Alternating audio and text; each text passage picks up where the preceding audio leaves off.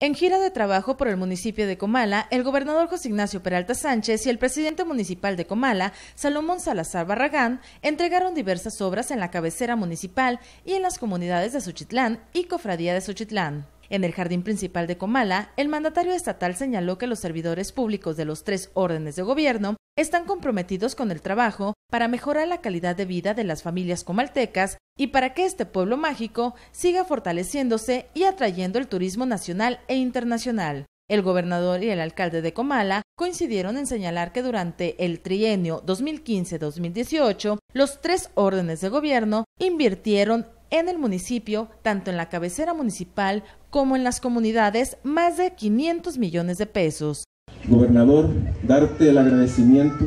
porque los tres años que estuvimos al frente de la administración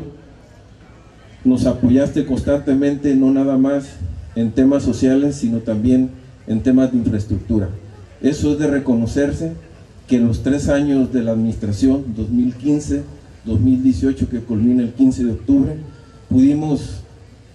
invertir los tres órdenes de gobierno